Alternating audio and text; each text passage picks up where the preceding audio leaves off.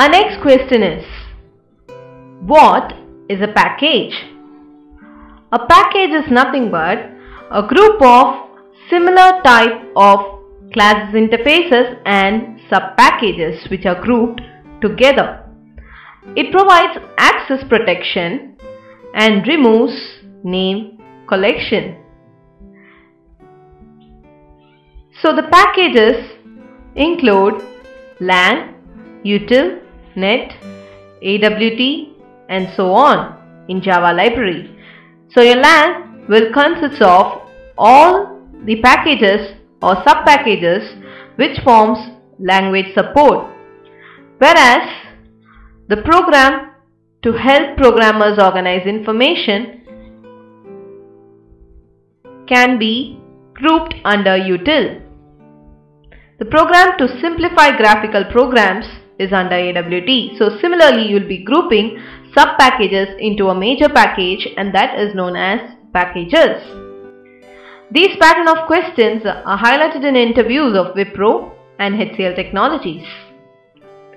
Let us see our next question. What is exception handling? Exception handling is a mechanism to handle runtime errors. It is mainly used to handle checked exceptions.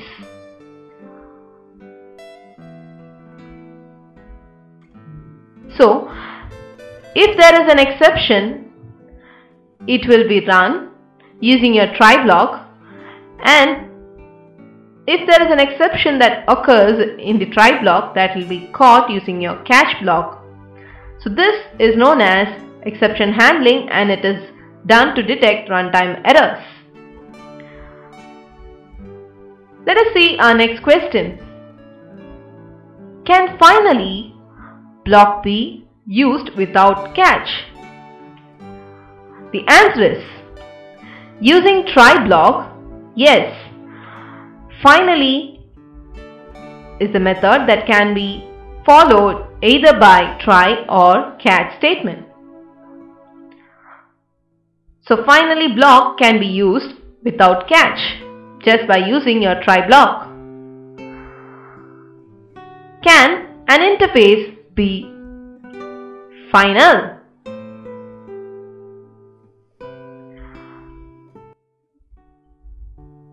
Your interface cannot be final. That is the answer because its implementation is provided by another class, hence it can't be final. These pattern of question are highlighted in interviews of Mindtree and Mphasis. Let us move on to our next question. What is the difference between throw and throws? The throw keyword is used to explicitly throw an exception. Whereas throws is used to declare an exception. Checked exceptions cannot be propagated with throw only. Whereas checked exceptions can be propagated with throws alone that is using your throws keyword. Throw is followed by an instance whereas your throws keyword is followed by a class. Throw is used within a method whereas your throws keyword is used with the method signature. You cannot throw multiple exception. Whereas you can declare multiple exception.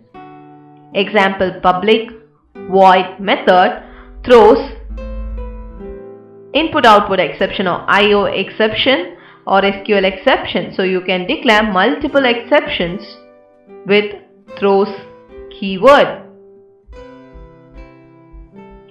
So that makes the major points which differentiates between your throw and throws keyword.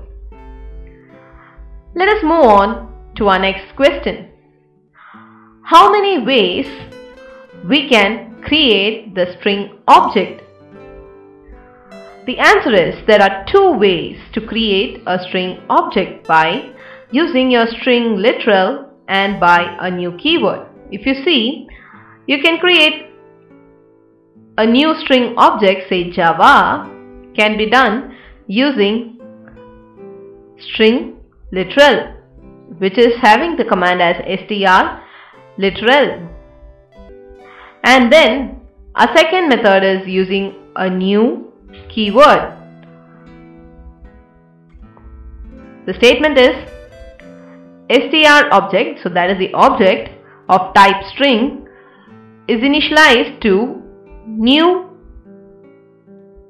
string and the value is java. So this is a syntax for using new keyword to create a string. Our next question is how many objects will be created in the following code? That is in the following code how many objects will be created only one object can be created. Each time you create a string literal, the Java virtual machine checks the string constant pool first. If the string already exists in the pool, then a reference to the pool instance is returned. So that will return a reference. If the string doesn't exist in the pool, then a new string instance would be created and placed in the pool. So in this case, there'll be two references returning back in for your S2 and S3 objects. So we have only one objects which is having the value as welcome and that will be referenced for S2 and S3. These type of questions are highlighted in interviews of Wipro and HCL Technologies.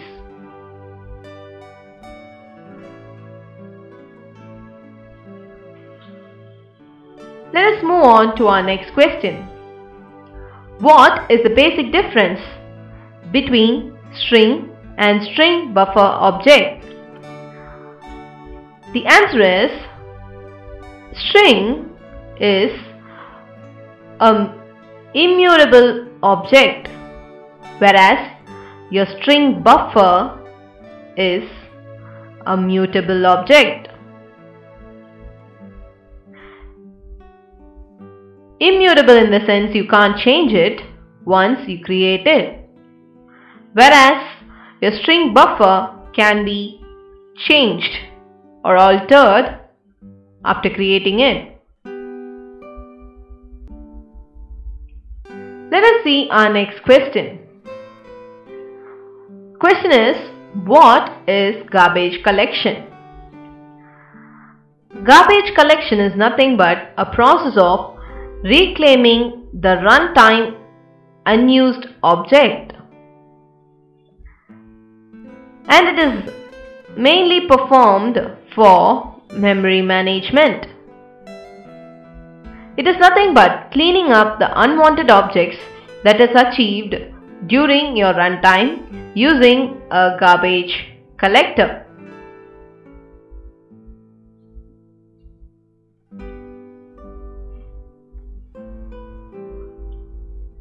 Let us see our next question. What is the difference between the keywords final finally and finalize? The answer is final. Final is a keyword and it can be a variable, method or class. You can't change the value of any variable or method which is declared with the keyword final and if it is a method that is declared with the word final, then you can't override the method. If your class is declared with the final keyword, then you can't inherit the class. So this is the purpose of using the keyword final. Here if you see, we are declaring the variable x of type int to be 100 using the final keyword. So again, if I declare x or initialize x with some other value, that will throw me a compile time error. So that is the use of final keyword. Next we have a keyword finally. Finally is a block that is used for exception handling. In exception handling, you'll have a try and a catch block and the finally block will be always executed. If you see over here in our example, we have a try block that is having a catch as well. So in your try block, we are having the value of x to be 300 and the catch block will print the value of e. Since this doesn't have any sort of relation, this part doesn't have any output to be thrown whereas your finally block will be executed. So at that point of time your output will be finally block is executed because your finally block will be always executed in exception handling. So that returns some value or the other even if errors occurs in your program. So that is the purpose of finally block. Next we have the keyword as finalize. Finalize is a method and it is used in garbage collection. Your finalize method is invoked just before the object is garbage collected. The finalize method can be used to perform any cleanup processing. If you see over here, we have declared a class finalize example and the method finalize is present over here. It is used for garbage collection. So, since we are assigning the values of two objects f1 and f2 of the class finalize example to be null. When you execute it, you have the garbage collected and display finalize called.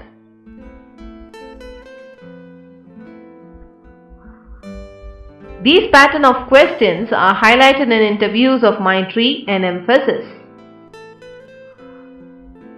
Let us move on to our next question. What is serialization in Java? An answer is when an object can be represented as a sequence of bytes that includes the object's data as well as information about object's type, then the types of data stored in the object. So this is known as serialization.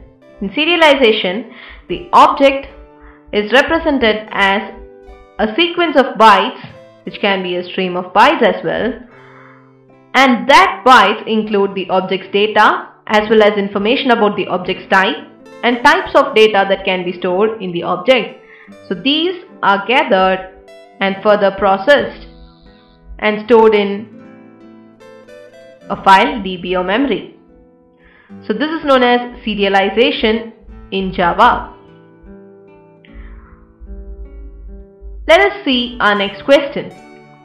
What is synchronization in Java? Synchronization is the process of allowing threads to execute one after another. Synchronization controls the access of multiple threads to a shared resource. Without synchronization of threads, one thread can modify a shared variable whereas your another thread will be modifying the same variable. So that will lead to significant errors.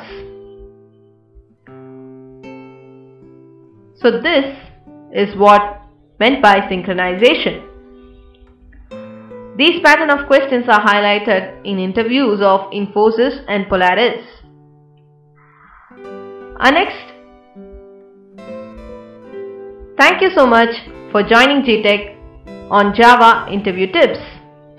Hope now we have got an idea of questions based on Java